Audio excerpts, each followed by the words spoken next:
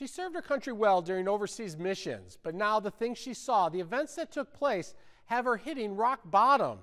Her parents are afraid that she'll die on the streets of Metro Detroit if she doesn't get help immediately. Growing up, Chrissy Myers was a smart, precocious kid with a big smile. She was creative in her art, her words, her writings, everything, you know.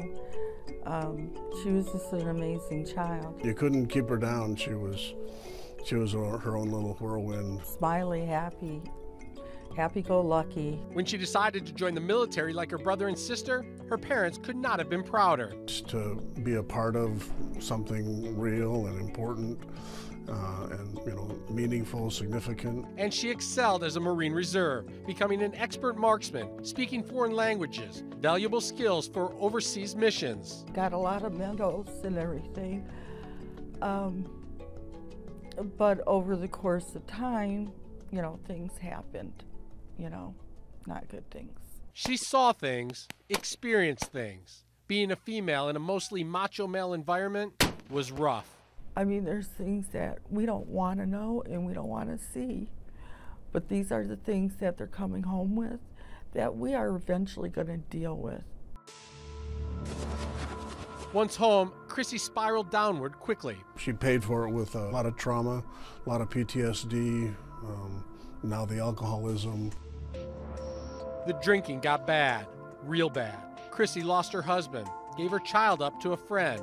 Soon, her parents were getting calls about her drinking. I remember the first time uh, some hair salon called us because she'd like passed out. Then came the police. Rochester Hills Police found her passed out in a restaurant's parking lot.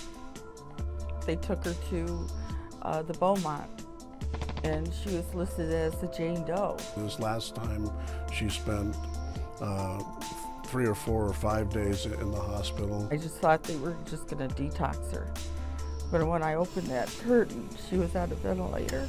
In several phone conversations, Chrissy has told me she wants to get help, wants to stop drinking. As a veteran, the VA hospital is available to her. The VA cannot comment on patients, but her family's documentation shows she's been there a lot. We take her to the VA. It's a band aid fix.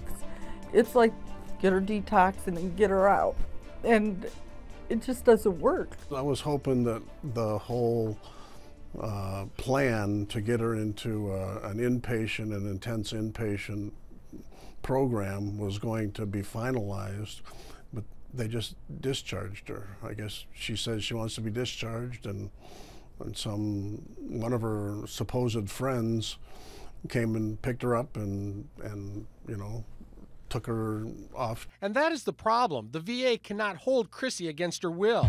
And every time she leaves, she gets closer to death, leaving her parents petrified. And it's like, do you realize this girl who came back serving our country is going to die? I mean, I'm prepared for her funeral as best as I can be. But we want her to live, you know. She's worth worth it. All these vets are worth it. The defenders first learned of Chrissy Myers from a tip call, a Marine veteran breaking rules by working as an escort in local hotels. Chrissy was advertising on the internet under the name Ava, and we showed up to confront her. Uh, I want to talk to you about your escort business. Um, I don't know what you're talking about. Immediately, we realized while she may have been scamming the system, what she really needed is help. You guys can get off me. Would you like us to help you find a better occupation? Chrissy was working as an escort to pay for booze in a hotel room. Her mother recently found out where she was and rescued her. There was throw up and blood all over the bed, you know, and they ended up taking her to the St. John's. A Marine Reserve veteran with talent and potential. She just writes, and she writes beautifully, and she can make a name for herself. She can be extremely successful. She can be as successful as she wants. But in deep despair over her experiences in the military. We just don't know where to go, where to turn. You know, it's like, and my heart goes out for her because you want to protect your children, and you can't.